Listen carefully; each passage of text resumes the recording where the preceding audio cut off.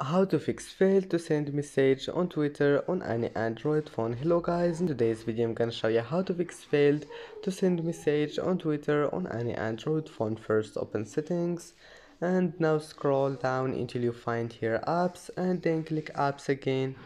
And here just type twitter.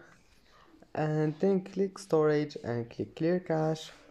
And after that just click permissions and allow all of those permissions here. Don't forget microphone click on it and click allow.